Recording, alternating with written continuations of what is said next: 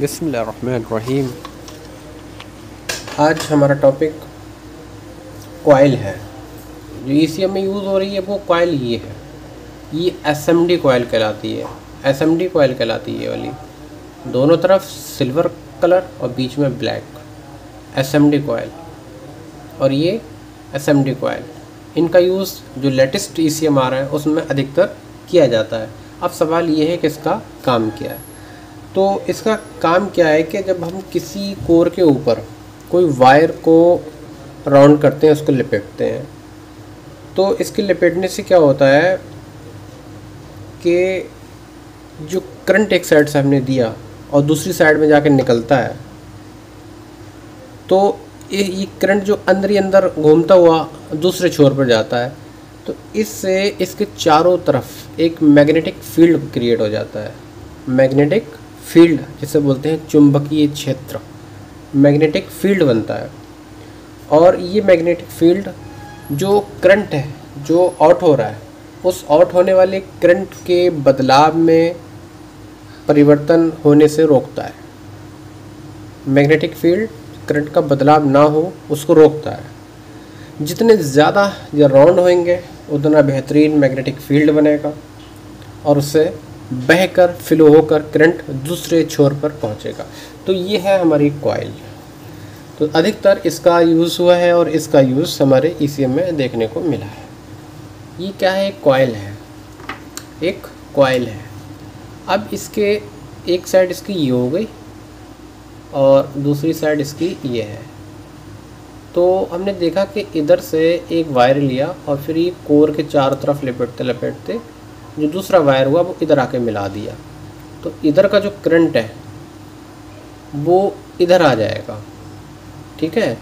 तो इससे क्या होगा कि इसके चारों तरफ़ एक मैग्नेटिक फ़ील्ड बनेगा और वो मैग्नेटिक फ़ील्ड करंट में होने वाले बदलाव को रोकेगा। तो ये जो कॉयल है, वो ई e में लेटेस्ट मॉडल आ रहा है। तो कई जगह यूज़ की जा रही है। मैं दिखाता हूँ एक दो। इस पहली कॉयल है हमारी। तो ये कॉयल है। इसके अलावा कुछ बोर्ड और दे लेते हैं हम। आया ये इसमें हम देखते हैं। तो ये भी एक कॉयल है। ये कॉयल है। इसके ऊपर नंबर लिखा है और ये दो पॉइंट है उसके। ये एक ओपन हो गई कॉयल ये। ये भी कॉयल है ये। वही वायर हो गया। तो ये कॉयल है। ये देखने को खूब मिलेगी और एक सर्किट में जो है वो इन कॉयल का यूज़ क्यों क्यों किया गया है?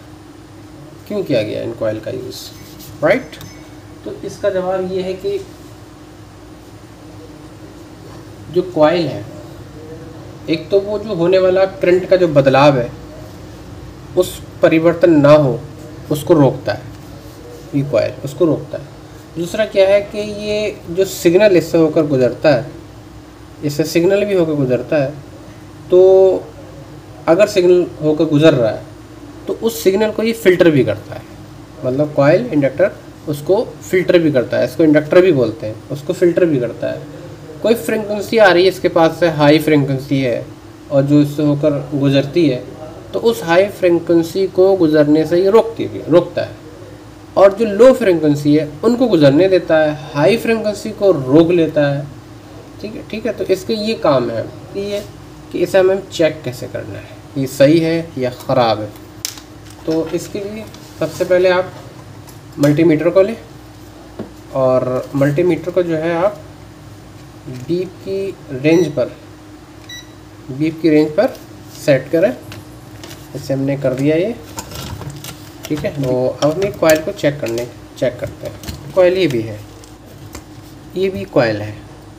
ठीक है? ये भी कॉयल है इसके। तो हमने इसको चेक किया। बीप की रेंज है।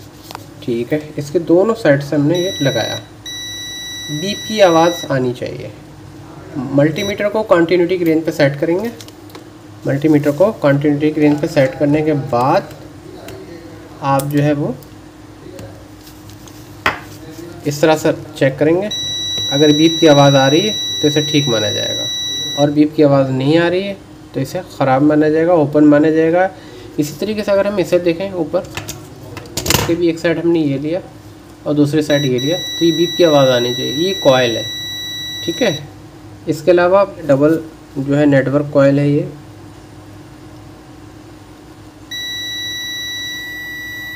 ठीक है, बीप की आवाज़। और इससे बराबर में ये हो गई। एक ये कॉयल है गई अब आप ये देखिए ये कॉयल है। इसे ज़रा थोड़ा सा गौर से देखने की कोशिश करें आप। ये। ये बराबर में कैपेसिटर हुआ, फिर कॉयल भी, फिर कैपेसिटर है, फिर कॉयल है। देखिए, इसमें क्या है, बीच में ब्लैक बॉडी है और साइडों से सिल्वर सिल्वर है, राइट है?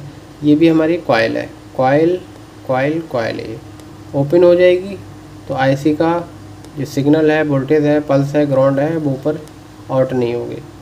तो इस पर भी क्या है? इसकी भी चेकिंग क्या है? इसी तरीके से है। इस पर हम बस एक सेट से ऐसे रखेंगे, एक सेट ये ये बीप की आवाज़ आनी चाहिए, दोनों साइडों में घुमा के रखें, ये सारी कोयलें हैं। तो उम्मीद करते हैं कि आपको आज कॉयल का टॉपिक बिल्कुल अच्छे से क्लियर हो गया होगा।